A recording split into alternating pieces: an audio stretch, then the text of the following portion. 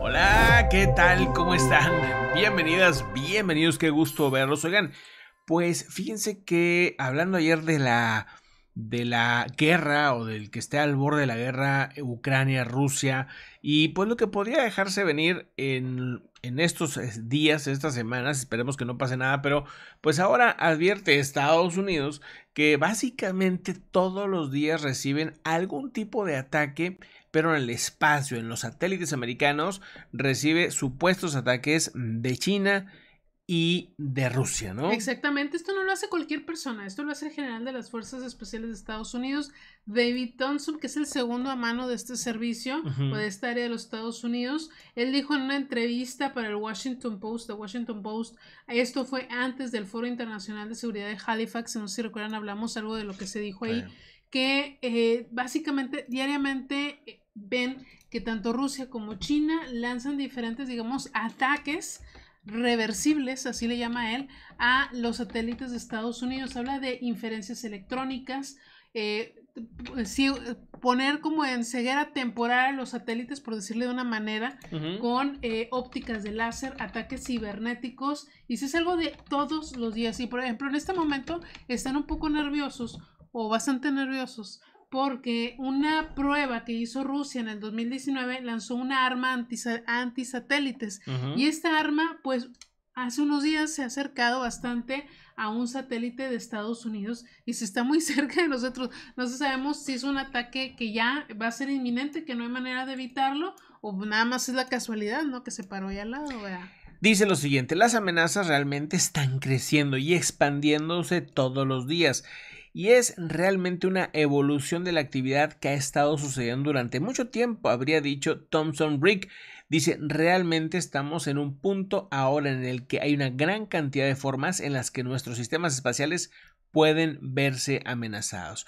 Vamos a empezar a, darnos cuenta cómo, pues al final de cuentas, digo, independientemente de esto que está pasando específicamente entre Rusia, Estados Unidos y China, también hay otros países que van poco a poco a hacer, pues este, van a tener sus satélites, ya sea de espionaje, ¿no? Eh, tema también de comercio, de internet, que al final pueden ser atacados porque allá arriba, pues realmente no hay reglas, ¿no? O sea, no, nadie está viendo, em, pues solamente son los dichos, en este caso de esta persona, al rato dice China o Rusia, pues no, no es cierto, y pues o sea, la verdad es que a quién le podemos creer.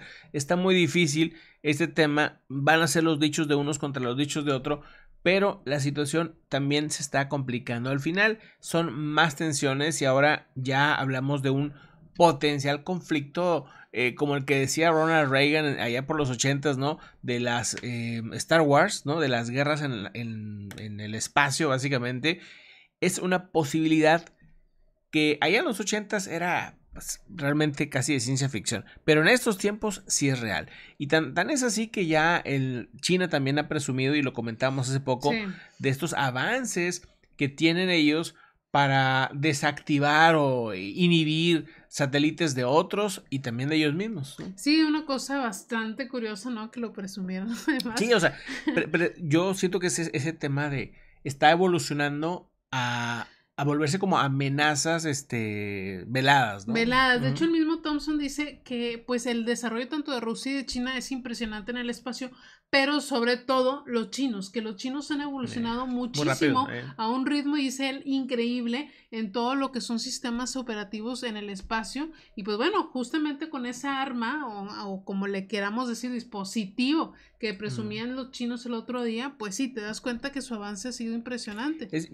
en estos 15 días ha habido una serie de noticias muy importantes que cambian o le dan un giro totalmente a los chinos, poniéndolos, pues no sé si en primer lugar, pero sí entre los primeros lugares definitivamente en avance tecnológico con tres cosas. Los cohetes hipersónicos, ¿sí? Eh, un cohete que puede cargar 100 toneladas o no sé cuántas toneladas, una, cantidad impresionante, ¿te acuerdas? Que, sí, lo vimos? comentamos aquí. Un cohete enorme que solamente uno puede causar, cargar bastantes toneladas, que es algo que también pondría en la posibilidad de crear bases en la Luna, en Marte, en el espacio, en donde quieran, porque ahora sí podrían mover grandes cantidades de peso.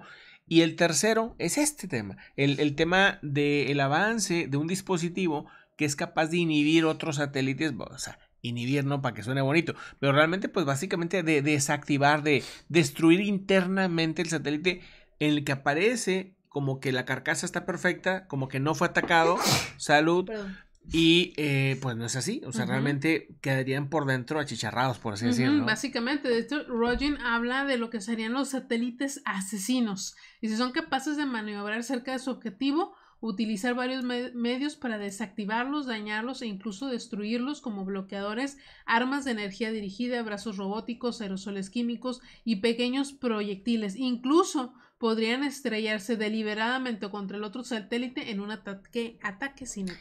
Pues así las cosas, amigas y amigos, con el tema del conflicto